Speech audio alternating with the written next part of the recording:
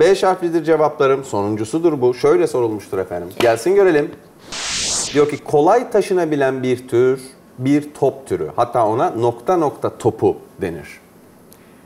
Kolay taşınabilen bir top türü. Bambaşka bir şeyin de adı. Bambaşka bir şey. Mutfakta, eczacılıkta kullanılan bambaşka bir şeyin de adı. Ee, Bir cam şeyin ismi galiba. Cam mı? Camını pek Yok, görmedim yok, ben onu. Top.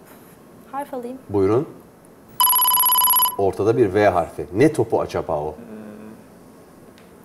Ay hiç şu an. Harf alayım. Bir tane daha. Havan. Nedir?